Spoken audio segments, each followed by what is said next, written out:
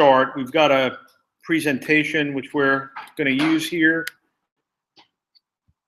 Okay, so now we're going to make the shift to go from um, to Mongo. And in the process of doing it, let's also talk a little bit about database design and how these schemas get set up because even though they're, they're quite different, some of the same principles hold up when you're uh, using, um, when you're designing your schema for Mongo, which really doesn't have a schema, but we're going to use something called Mongoose to create that schema.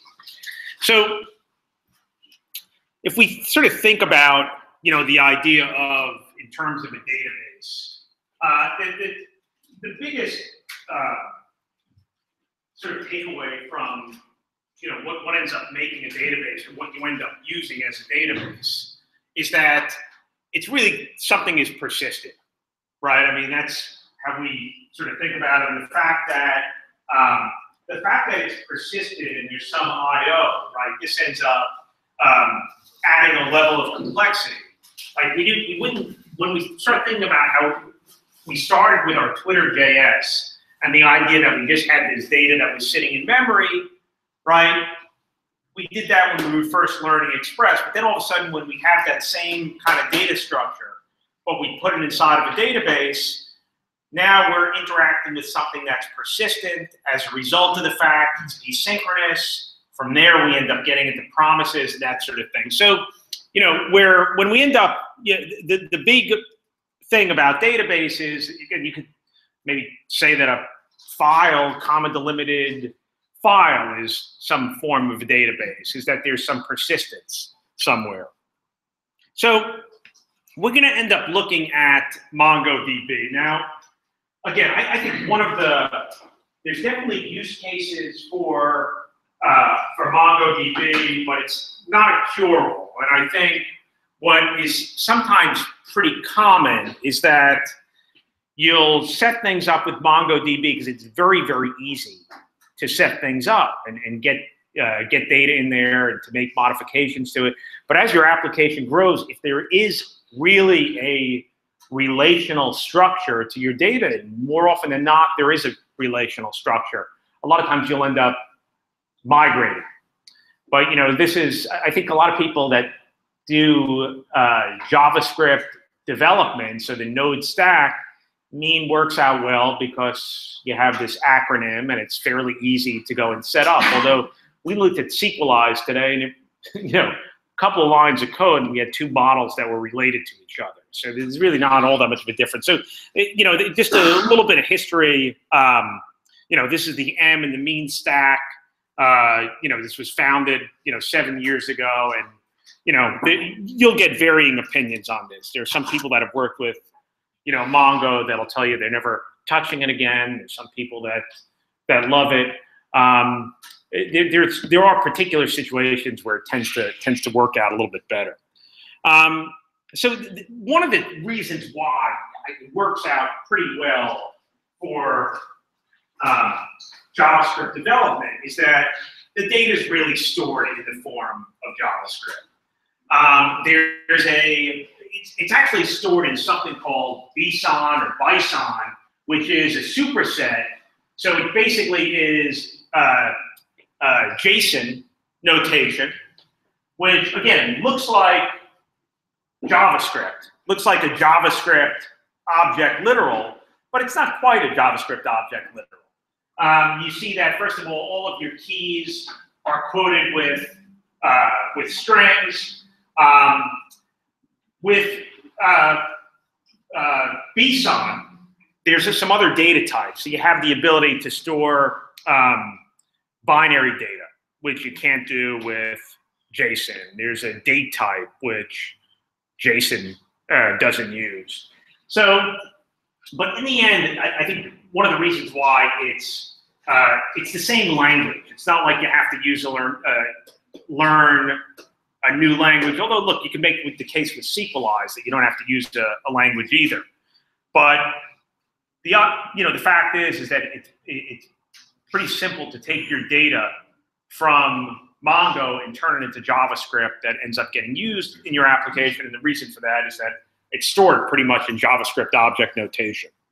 So the, in terms of getting used to some of the syntax, um, the, the Mongo equivalent of a table is going to be a collection. Collections don't have schemas like tables have schemas. Um, so that means that uh, you can have these items that are in a collection, and the items don't have to be the same.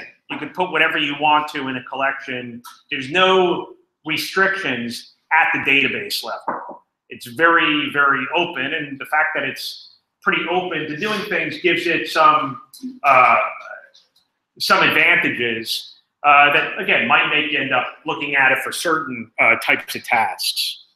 So when we end up thinking of uh, if, if, collections are tables, okay, uh, the equivalent of rows are going to be documents. So each piece of data in a Mongo collection is called a document. And again, they're basically just these JSON objects, these associative arrays.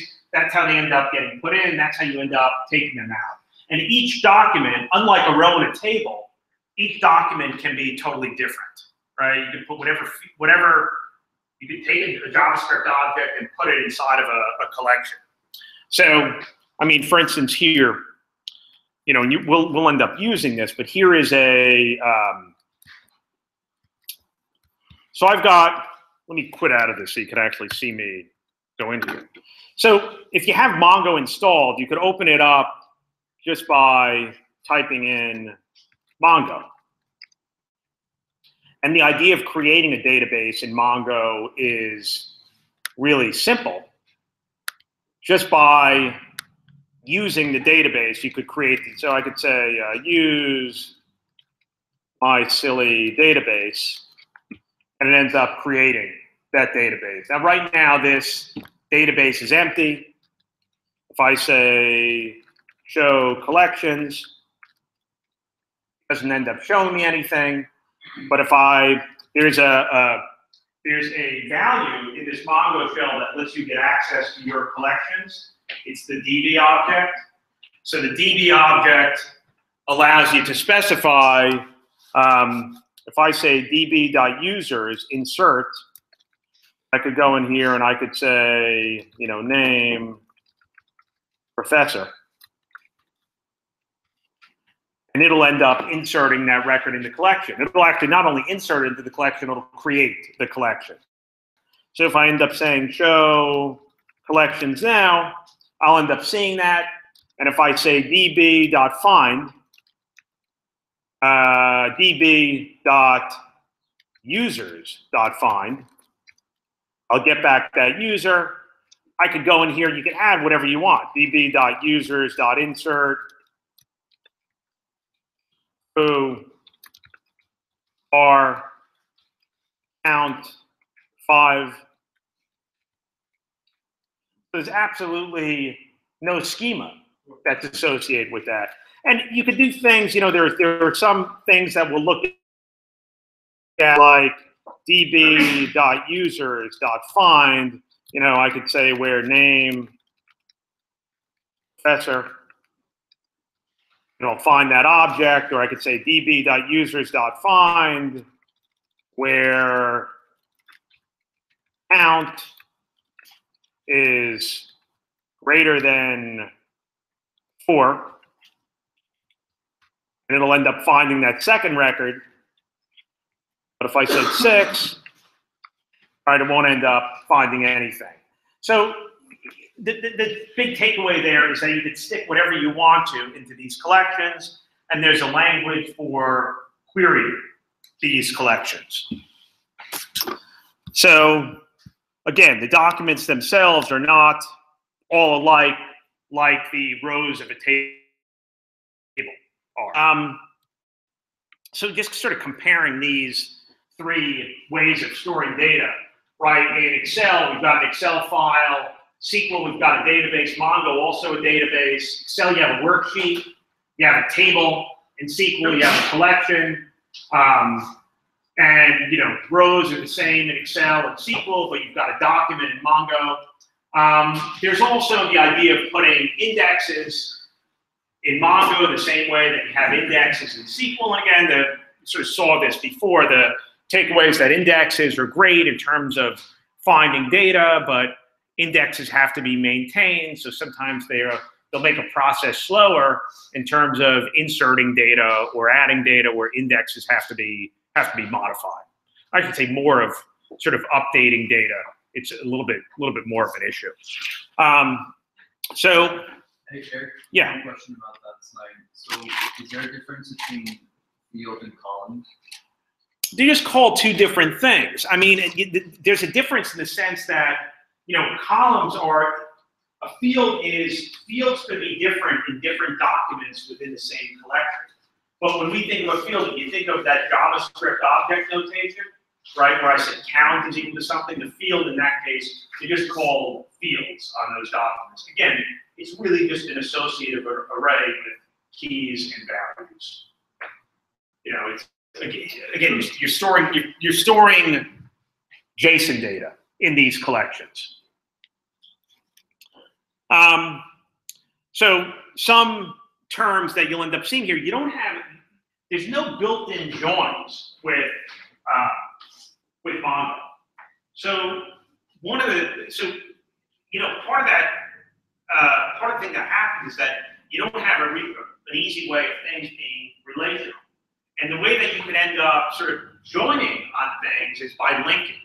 So for instance, if you had a collection called categories, right, where each category had an ID, and you had a collection called um, products, right, where product has a category, then you could say, yeah, I'm going to set it up so that my category ID in each of my products ends up corresponding to an actual category in the category table. Or you could embed things and say, hey, look, here's my product, and my product has a category, and you can have another uh, JavaScript object for that category. And there's advantages of doing it, you know, different ways. I mean, you could make Mongo feel very relational, and then sort of kind of defeats the purpose of it being Mongo. Or you can take advantage of doing things like embedding, but then sometimes if you want to handle your database like a relational database, it might be a little bit tricky to get at the data that you want. So we'll, we'll talk about the difference between embedding and linking. Um, there's still some aggregation in Mongo, so you have the ability to basically look at this collection and being able to count things or being able to find the maximum value in a collection, that sort of thing. Obviously, you could filter by passing in this other other object. Um, again, the language is a little bit different. We saw that when I did the find, you know, here I just pass in an object as opposed to sequelize, where when you do a find, you have to put the where there, and that's the object that's that's doing the that you're using for the filtering. Um, so some of this stuff we looked at, right? You're you're you're familiar with the SQL. We saw this db.users.insert. This becomes the document that gets inserted. db.users.find, db.users.find with where clause. Um, being able to use a collection and then being able to go and sort the collection on a column or different columns. So again, the stuff that you end up doing with SQL, you can also do it with uh, with Mongo. But again, I, this is I think part of the takeaway why it's popular with JavaScript because again, it's you're using it and you're writing JavaScript to interact with the database as opposed to writing SQL. Now, again, you know, we could use JavaScript to interact with a database when we use Sequelize, but under the covers, it still is Sequelize. Well, here, under the covers, it, it's JavaScript. So uh, in terms of what the strength is, in terms of um, Mongo, right, you can actually mix things up. Um, so part of this is that if you're working with a database, and you want to do things like adding columns to the database, if you're using a SQL database, there are think ways of doing it. We, we ran sync, which wipes out our database and, and adds new fields. Um, and that's fine in a development environment. With Mongo, it's very, very easy to basically say, hey, look, we decided that these objects are going to have a new field. you don't have to make any changes to the database. You just specify every time that I put a piece of data in here, I'm gonna add it as property. I'll add a priority or something along those lines. So in terms of like, um, if you're sort of in the planning stages and you don't know exactly what your um, objects are going to look like that your business is modeling, they become a bit more flexible than if you end up using SQL. Um, so it's also very good if you're capturing unstructured information. So you say, hey, look, I'm capturing this data, um, you know, but I don't exactly know what my keys and values are. Your keys and values could end up being being very dynamic. So there's there's certain applications that it ends up working well for. Um, some of these have to do with with data types that are in the application, but for things like logging, where you're just putting stuff in there, you, you know, might not be updating as much. It ends up, you know, working out to be uh, pretty fast, and some other uh, uh, application designs, or, or, or, or, some other use cases that you have here. Um, so th there's also this idea of uh, certain data types. So by default, there is a data type which is a I've never used it, but there's a geospatial data type which could end up coming in pretty handy for uh, web applications. Again, you have, you know, phones and laptops can, uh, you know, report their location. So you can do searches based on location and that sort of thing. You know, the, the fact that it's built basically to scale really well. And if you sort of think about it, if there aren't constraints that are on the database, it kind of makes sense that it's fairly easy to scale.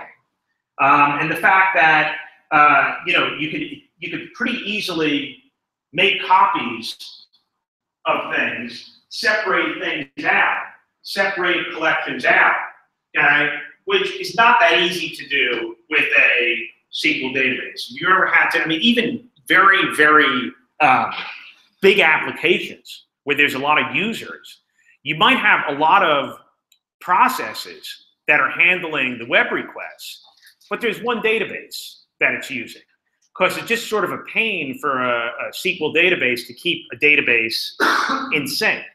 But this is one of the things that Mongo was built with. And again, the fact that you don't have these restrictions on the database makes it easy to basically make copies of it or say, look, I'm going to, you know, put these rows over here and put these rows over there. And this is something that's built into the design of the database. Can you expand on that a little more? Like, so if you had, let's say, a ton of user records, uh, why is it easier to copy those than a big table of, you know, SQL records? And, and after you split those, um, why would it be easier to maintain two in, in this case? Um, I, I, don't know offhand. I mean, again, my guess is has to do with the fact, I, I, would think that it just has to be the fact that it's just less restrictive on the data. It's just basically collections of these objects. Um, I don't know. I'm, I'm not sure the answer to that. I think part of it is maybe that this scaling was built in to the process when it was developed. I mean, it was basically part of it, I think, was developed Mongo, it's Mongo because it's humongous, right? So it was built with scaling in mind, which probably is not the first order of business with traditional relational databases. But I, I, have to think that a lot of it just has to do with the fact that if you don't have those restrictions on things like where you're not necessarily worrying about um, foreign keys and how the records end up relating to each other, uh, that that has something something to do with it. So um, again, another advantage, we spoke about this, is that you, ha you, you have this, you don't have this impedance, meaning that if you're running a SQL query and you pull your, your data out and you want to put it in the form of JavaScript, you have to have a way of doing that. And here, it's stored as JavaScript, so it's easy to get it out as JavaScript. So in terms of weaknesses, right, it's very, it doesn't have any transaction support. Um, I say that it's tough to control the integrity of the database at the data level because there's not really integrity to be, begin with, right? It's not like you say, look, the only thing that could end up going into this collection is this type of object and these uh, fields and this object are going to be required. I mean, it's big, it's incredibly loose, right? So when that happens, you run into a scenario where you know, you could get data that doesn't make sense for your application. Now, again, with a with a, a SQL database, there's all kinds of things that you could do. I mean, in our example, we could have put a restriction on our database to say, hey, look, our um, our tweet has to have a minimum value, you know, of this, or um, don't don't accept null values. It can't be too long. All these things that we could end up doing. Now, granted, we might we get a database error if we in our in our UI, but our data would never end up getting contaminated, right? It would be impossible at the database level for that to happen. Um, so you don't really have that, and, and you don't have the ability to really support real relationships with, you know, between tables. So if you went in and you were working for a bank and you said, well, we should switch over to Mongo, uh, they'd probably throw you out pretty fast, right? I mean, you're not going to use it for anything that really needs to have that tight transactional support. It's fast, it's scalable, okay, but there are definitely some some weaknesses with it. So again, some of this other uh, the, the, the trade-offs that you that you go through. Um, so you know, look, I think the, the takeaway is that if you're if you try to shoehorn relational data where you want to make sure that it's normalized, you don't want to have data that ends up repeating itself, um, then probably you're going to end up being better off with a relational database.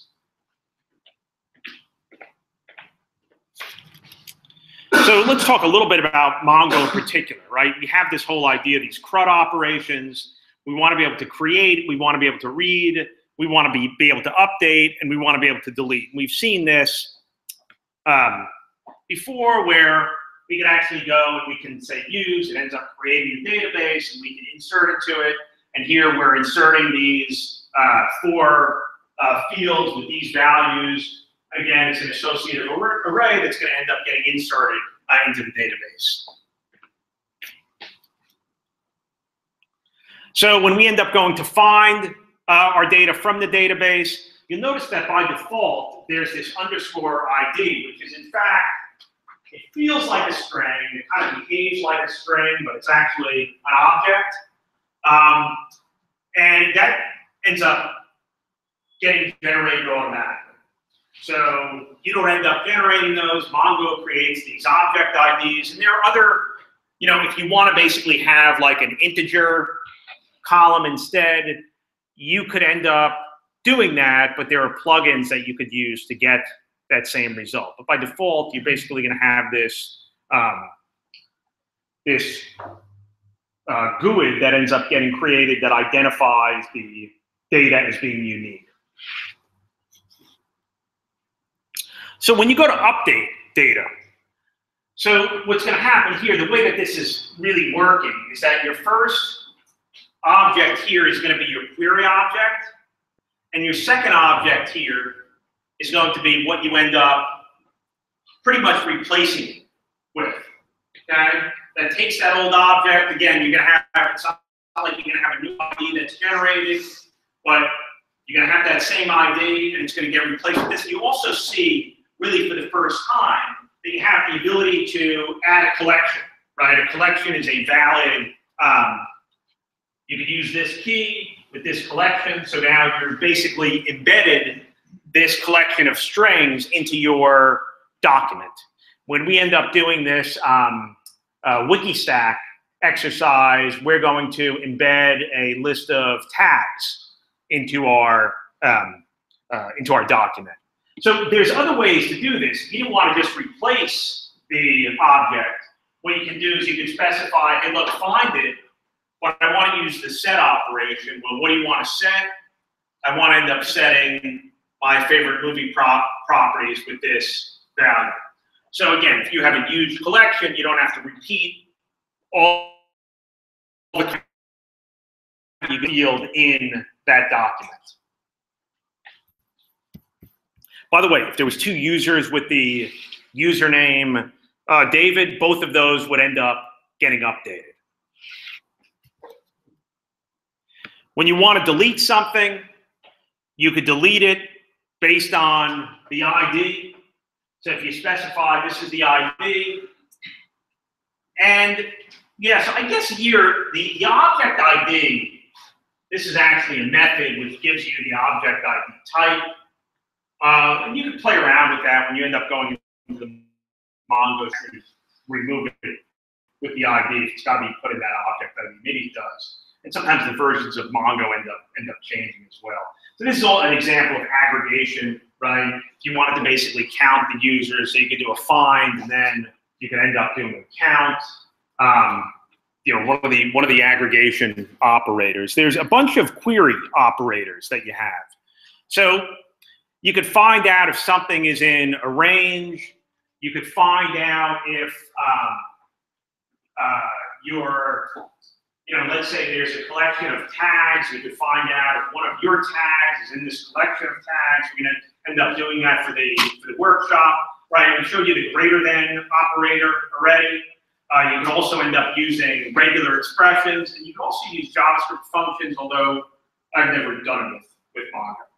There might be some way of querying with with uh, with functions themselves.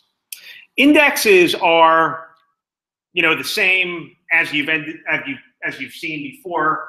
So they were indexing, like we ended up creating our own index with um, the um, when we were looking at the FQL example.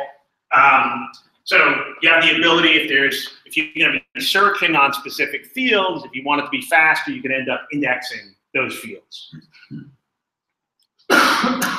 there's some tools that you could end up that you could use uh, so one of these is RoboMongo, where you could, again, instead of actually using the command line to query your collections, you could have an IDE uh, that lets you use them. I've sort of gotten used to not using IDEs, so I haven't used any of these.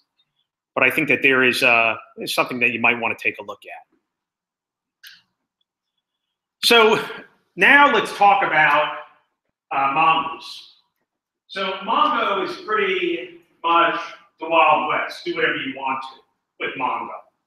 Mongoose is a wrapper that allows us, sounded funny, Mongoose is a wrapper. M Mongoose is a wrapper that ends up wrapping around Mongo. And what it does is it gives you a structure that you, Mongoose is an NPM package, and the only thing that you have to tell Mongoose is, hey, look, here's, you know, same with Sequelize. Here's the connection string to interact with, with Mongoose. Um, and what it provides you is that it gives you the ability to um, to add uh, schemas. So you could specify, hey, look, here's my model, here's my user model. The user is going to have a name. The user is going to have a date of birth. The type for the name is going to be a string. The type for the date of birth is going to be a date. You could end up putting hooks on it so that if you attempt to, it's going to look exactly the same almost exactly the same as those Sequelize when we say the big model, right? So you could end up creating these models, and that's your entree into a Mongoose collection. And we'll talk about how you can sort of connect these objects together uh, as well. So if we think about the fact that um, in, in Mongo, we have these collections and documents, right? Mongoose gives us the ability to take a schema, okay? We create a schema which looks very similar to the schemas we created with Sequelize. Um, and we end up defining our models very similar to what we ended up doing with Sequelize as well. So now you have the schema that gives you the model, and the model, right? Big M for model, uppercase user, right? In our case, when we do the um, the wiki stack, we're going to have user objects and we're going to have pages. So uppercase user, uppercase page. This is just by convention, right? And this gives you entree into the collection, and then you get your documents would be your little users and your little pages, sort of instances of this model. Um, so the sort of basics of Mongoose is that you have this schema, which is the blueprint for your object, right? It specifies what you want your uh, what you want your instances of your objects to look like. And there are different things you can do. So you can have hooks like a pre-save hook that maybe you want to auto-populate something. That's something that we're going to end up doing. You can add methods to your objects. you could add virtuals to your objects that look like methods. They look like properties of the object computed. Um, and so there's methods that we can add on the big model, and there are methods that we could add on the instances of the models as well. These are all things that you'll end up uh, doing in the workshop. So you can end up using this uh, big model to, to create and find instances. And when you end up getting the individual documents of these instances, you're going to want to either save them or update them and delete them. The fact that they ended up coming from a collection, right, and Mongoose knows where they came from, you can end up updating them and inserting them and deleting them. Again, same exact stuff that we ended up seeing with Sequelize. So the way that that ends up looking in code is that we end up installing Mongoose, we end up requiring Mongoose. Um, here, there's this Mongoose schema object, which is a constructor, and you can end up creating a new schema. Again, almost looks exactly the same as what you would have seen in Sequelize, but instead of actually specifying types like Sequelize string, you just basically use the JavaScript types, string, string. This is saying that here you have comments, which are a collection. So each of the comments in your comment collection are going to have this structure.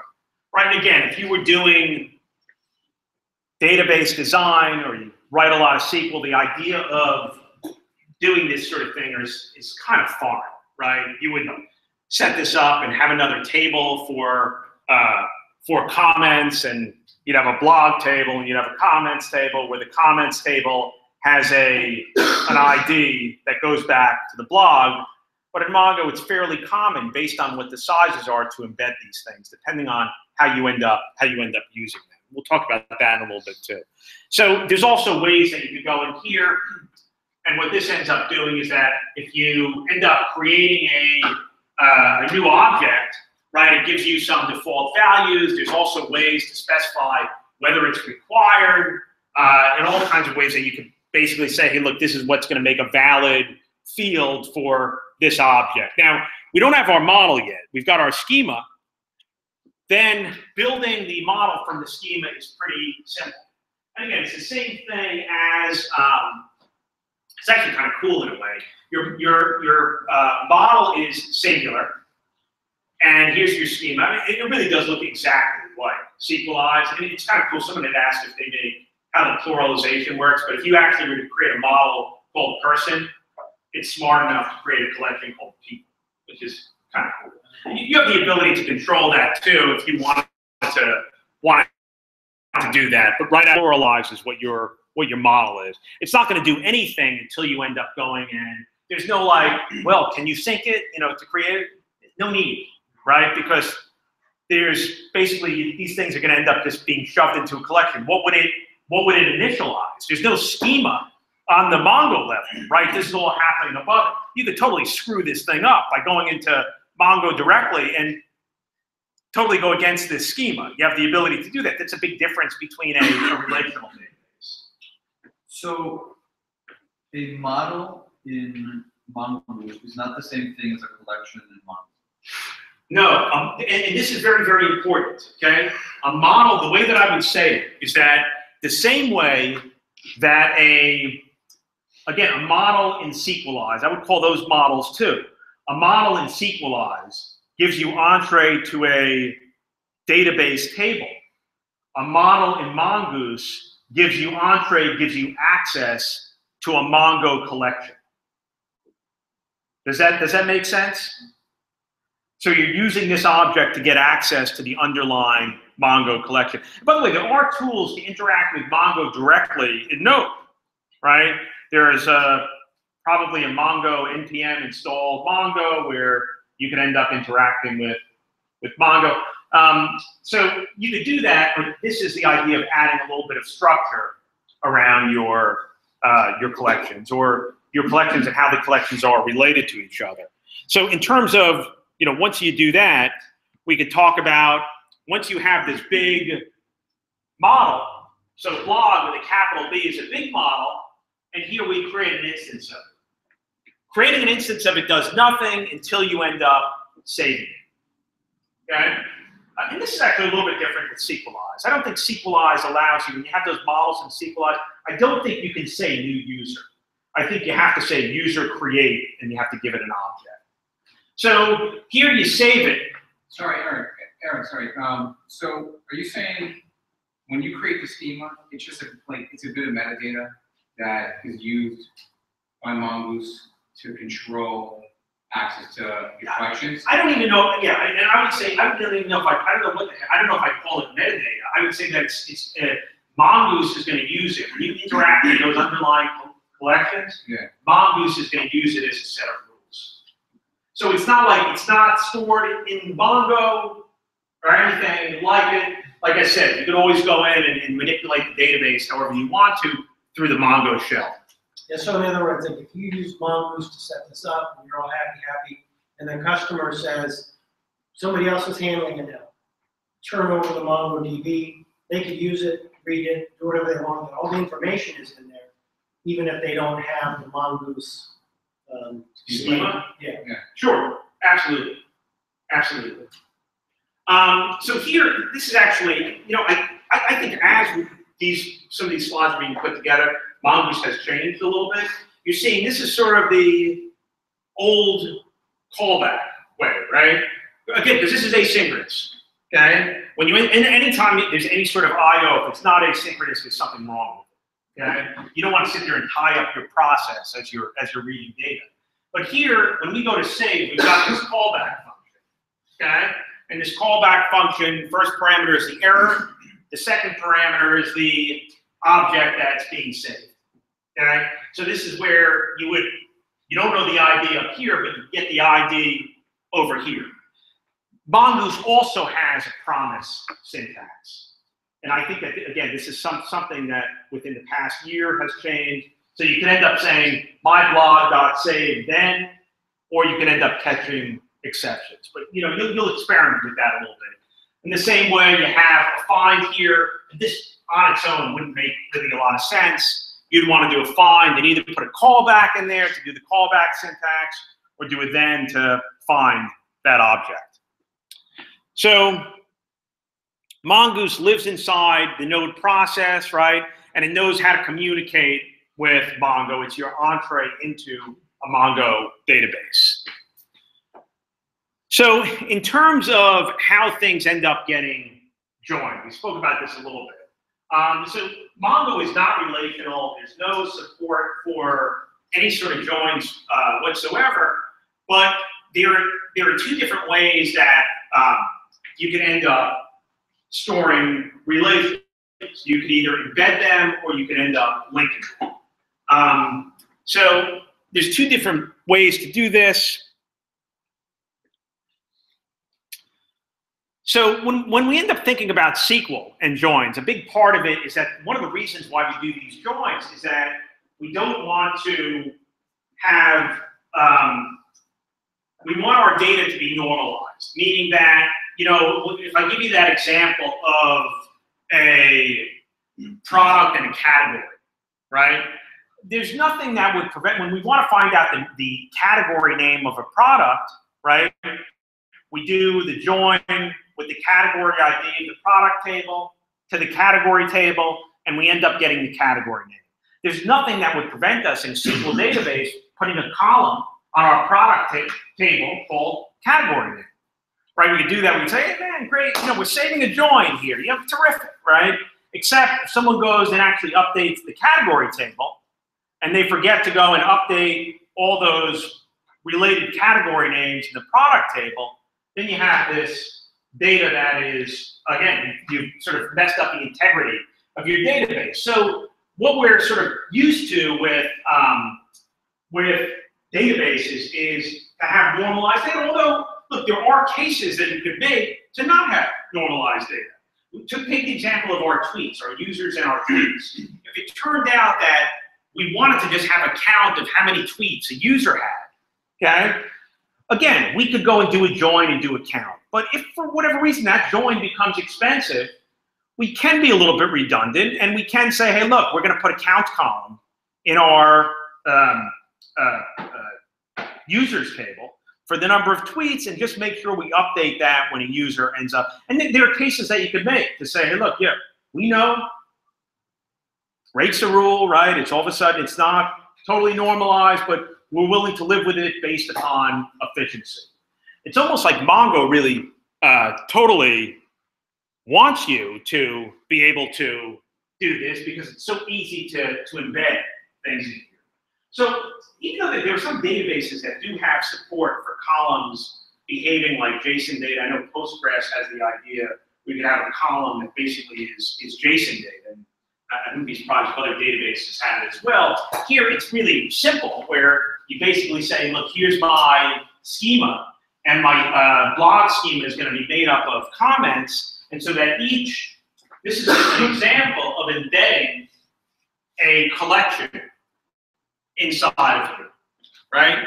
Which is fine for this sort of thing. And if you're always sort of coming at it from the blog itself and you're gonna, your entry point is always the blog, then again, it's a very sort of quick operation to get these comments. But if there was some idea where a comment had a user ID that was associated with them, and you wanted to get all the comments that a particular user had written, well, it's going to be a bit of a drag, right? I mean, you're going to have to look at every single entry, every single document in that blog's collection, and you're going to have to go through every single comment and say, hey, look, I got to loop over, I got to, within this comments collection, I got to find the comment by the user. So you have a speed advantage here, okay?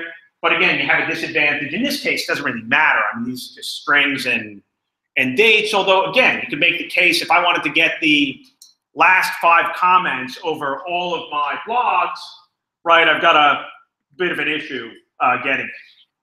Again, you could do it, it's just not going to be that fast. So um, here we've got a- another way that we could do this. This does the exact same thing, is that we could say, look, here's a schema for comments, and I'm going to store these comments as a comment schema. So this basically just allows us to separate our schemas out, um, but this is the gives you the exact exact same thing, right? There's only in our case there's only going to be one collection. Assuming we do this blogs model, we only create one model. It's going to be the blogs model, but we actually have two different schemes. Retrieval? Say one more time. Well, I'm seeing the square brackets for comments, so is, is that coincidence or is that also going to be treated like an array? No, so what, so what you're saying here is that the way that this ends up reading with the schema is it says that um, I'm going to have embedded in this comments field a collection of objects, and each object in the collection is going to conform to this schema.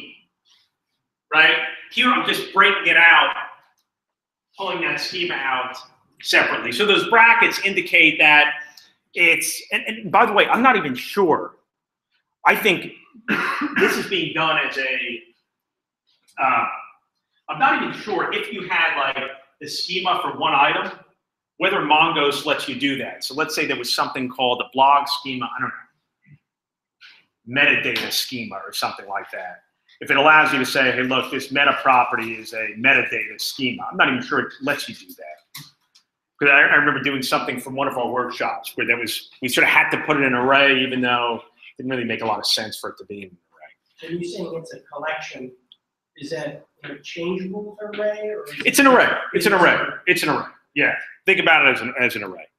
Um, so the other thing that you could do is that if we wanted to store this uh, in two separate collections, we could do it. And the way that this is done is that it's kind of an interesting thing that you could specify, hey, look, you have a, there's a collection of comments that are associated with this, um, with a blog entry, okay? But the only thing really that's stored is the object ID. It's a foreign key. That's exactly what you're doing. It's a foreign key, but there's nothing at the database, at the database level that does this. This is all Mongoose wrapping around. This is very important. When you say refers to comment, it's going to look for a mongoose model, okay, called comment.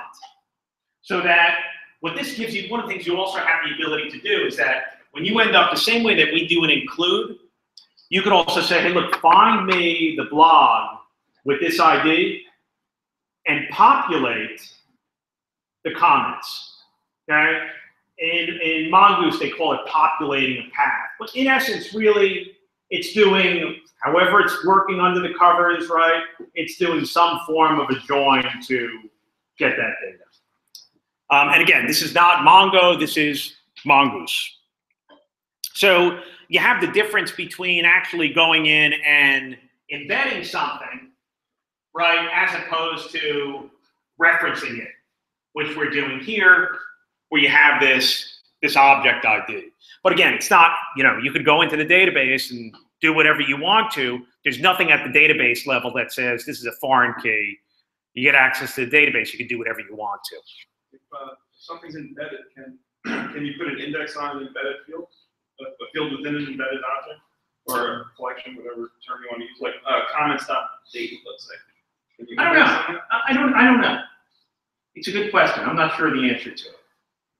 Um, and so another thing we could sort of, and some of this actually, you could think about, there's some, you can think about regular database design as well, not just looking at Mongo. I mean, you have different, um, you have cardinality of objects. So you either have, you know, a one-to-one, you have a many, a one-to-many, and sometimes you have a many-to-many. So let's just talk a little bit about what that really means. So some, um, if you if you had a one-to-one relationship, so you have this user collection, and within the user collection you have one user profile, it sort of makes sense. You know, why have to go and do that with it with an object ID? Doesn't really end up buying you that much. Usually you end up embedding that. Although I don't know exactly why you'd have a one-to-one, but it sort of makes us makes sense to just get it all in one shot. There's no there's no normalization issues that are going on there, so that kind of makes sense. Um, so, in terms of how these things end up uh, getting set up, the, the, some of the rules that you have here is that if you just have one to a few, so one of the ones to sort of think about is that our movies, let's say we were storing genres for our movies, right? And a movie going to be multiple genres, let's say, fall in different multiple categories. The idea there is to embed, okay? Um, so, or something like addresses, where someone's not going to have a ton of addresses. Um, or, you know, uh, the categories of a blog post, which again might be very similar to the genres of a movie. So, the idea is, hey, if it's just a couple of things, just put it in, embedded in the uh, in the object. Although I- could really make the case of, um, you know, if you ended up embedding the genres with your strings inside of the movie object, then if you did want to get all the movies with a particular genre, you know, there is a, a cost to that at this point, right? As opposed to, you know, setting that something like that up as sort of a many to many relationship, which really, in essence, in that case, it really would be, right? Um, I mean, categories too. I mean, if you think about categories on on a post, you could think that you know, look, maybe the idea if I'm naming this category and I'm having it on a post so that you know, a post can have many different uh, categories, and a category could belong to same category could belong to a lot of posts. You could sort of think about at some point, hey, look, I changed the name of that category. Well, what do I? How do I fix that? I got to go inside every single post and modify that. So again, there's a trade-off between the speed and you know how much you want to end up normalizing something. So say, as an example, how would you handle, say, um, tags? And, you know, that's, that's kind of a one to many, not one to not so many. Somebody might put five, six tags on a post. But it's a very common search to search by tags. I know. I look. I, I, you know, I think that there. Look, I think someone would, in that case, I think say, you know, maybe as a first shot, they would say, let me just embed this as a first shot. Mean, you can fairly easily, you can query. You know, Mo- Mongo uh, does have those operators where you can say, hey, look, here's this embedded collection. If any of the tags that I'm putting in are inside of any of the tags of this object, I want to return it. So you can, you still have the ability to search, to search by. So there's also this idea, this is also similar to, you know, what we looked at when we were look, you know, in, in our case with our, I mean, I, I think you could sort of make the case, you know, who ends up getting the reference, right? If you, you have your tweets and your users, right, your reference ends up going on your tweets. Your reference ends up going on the menu. Again, the, the biggest uh, one that you run into that gets to be more confusing, and it is totally supported, by the way, with Sequelize, which we didn't look at, is the idea of having a many to many relationship. Uh, again, sort of one a common one for that is a user having multiple roles in an application. And usually the way that you end up doing this, any, anything that's relational, is you end up having a user table, you have a role table, and you end up having a user roles table. Um, so, you know, here, the idea of having this sort of many, to me, I think when you have this many to many relationship, if you are going to end up doing a many to many relationship without having some sort of many to many table, you do have this idea of keeping these collections in sync. Again, if you only end up going through one way, then it's not really a problem. So in other words, if you said, hey, look, a user is going to have multiple roles and you're going to embed the, you know, even if you did this based on an object ID that corresponded to a role table, okay, you could end up doing that and that works out okay. But if you did want to go the other way around and you wanted to find all the users that were in a particular role, right, it's going to be kind of problematic. You know, you can imagine this huge collection of object IDs that would be inside this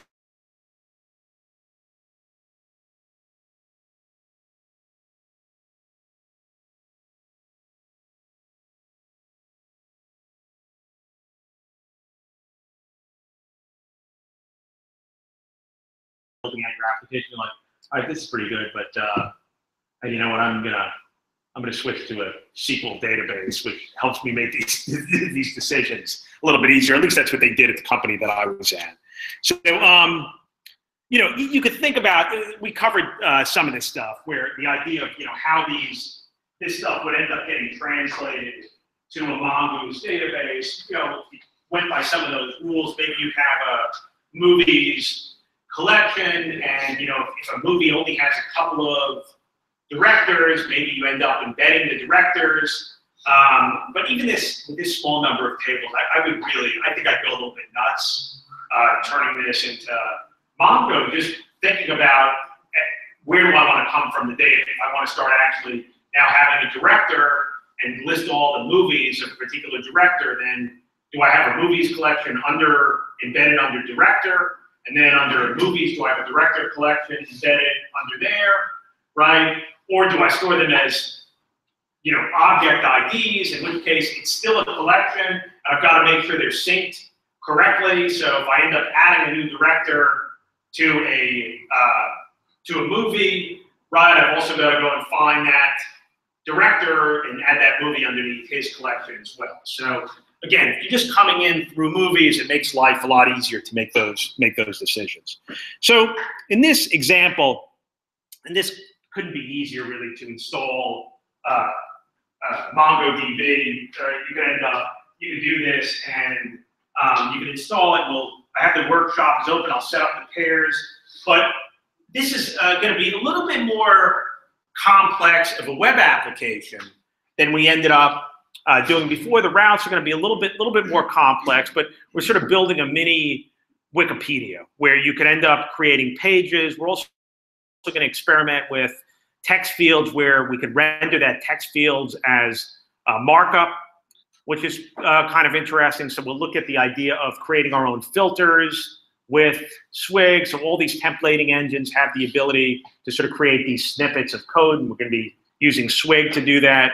Um, but the idea that we're going to have both users and we're going to have pages, which is not that dissimilar that from what we did before, but also that our pages are going to end up having tags, so we're going to be able to get similar pages and that sort of thing. So, um, you know, even though we're going to be using uh, Mongo uh, to do it, um, there's probably more time that you're going to spend around the Express uh, part of things. So, let me actually stop recording this. I will save that link up. Let me set up your